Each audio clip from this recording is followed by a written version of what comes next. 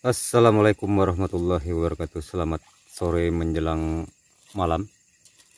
Kesempatan kali ini kami akan berbagi Tentang pemupukan cabai yang pertama kali ya. Jadi Alhamdulillah cabai kita sudah tertanam.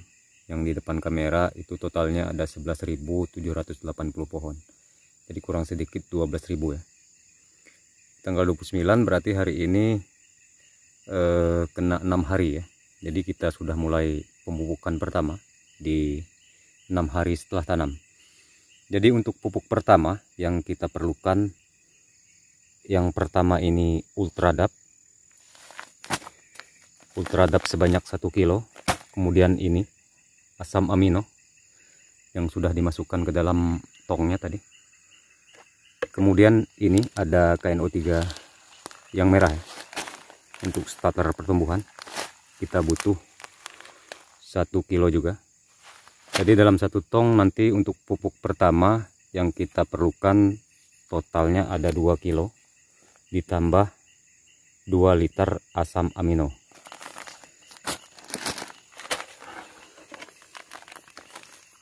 Itu tadi asam aminonya sudah dimasukkan ke dalam tong. Jadi nanti kalau memang perlu kita akan dokumentasi tentang pembuatan asam amino. Jadi sejauh ini dia sangat bagus untuk pertumbuhan tanaman. Seperti biasa ya kawan-kawan semua pupuknya kita larutkan ke dalam ember. Kemudian disatukan ke dalam tong yang yang volume 200 liter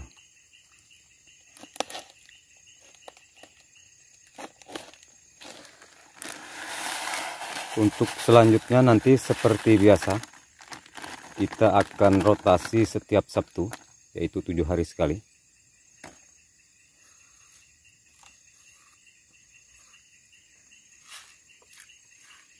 Seperti biasa kita larutkan pupuknya. Kalau pupuk-pupuk sejenis ini dia sangat cepat sekali larut. Dia tanpa ampas jadi kalau untuk kocor pertama kita tidak perlu menggunakan dosis yang terlalu besar. Berarti kita menggunakan total kimianya itu satu persen itu 2 kilo kemudian asam aminonya itu sebanyak satu persen juga 2 liter.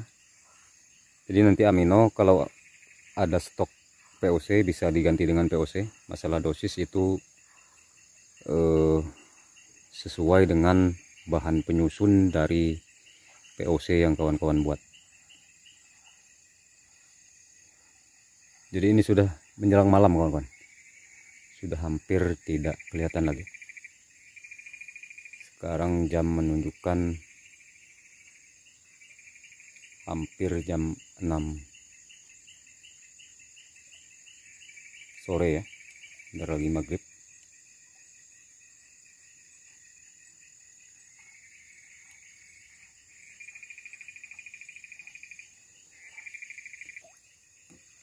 Oke selanjutnya jangan lupa untuk diaduk ya. Kimia ini sering terjadi endapan di bawah. Jadi memang harus sering-sering kita lakukan pengadukan. Nanti kalau sudah habis di tangki koncornya setiap mau mengambil kita aduk supaya dia menyatu. Endapan yang ada di bawah dia bisa menyatu dengan air yang ada di atas. Oke aplikasinya seperti itu ya kawan-kawan. Jadi satu eh, semprotan itu lebih kurang volume yang keluarnya itu sekitar 150 ml jadi nanti silakan eh, menyesuaikan saja selera.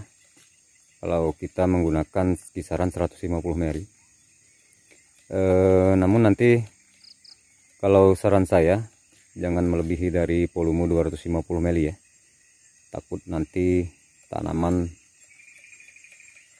yang baru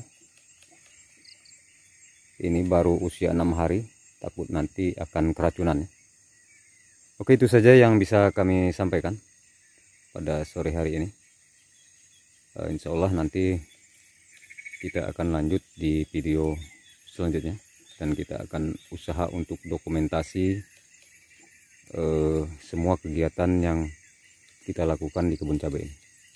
Assalamualaikum warahmatullahi wabarakatuh.